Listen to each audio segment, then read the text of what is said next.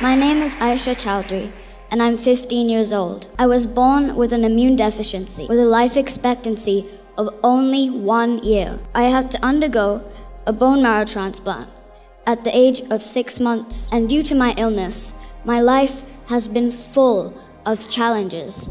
And today, I'd like to share with you important lessons I have learned.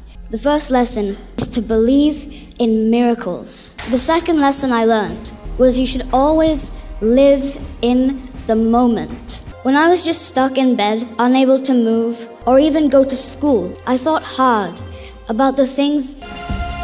What I've learned is that you should do what you can instead of feeling bad about the things that you're unable to do. The third lesson I've learned is that in every difficulty, one can always find an opportunity.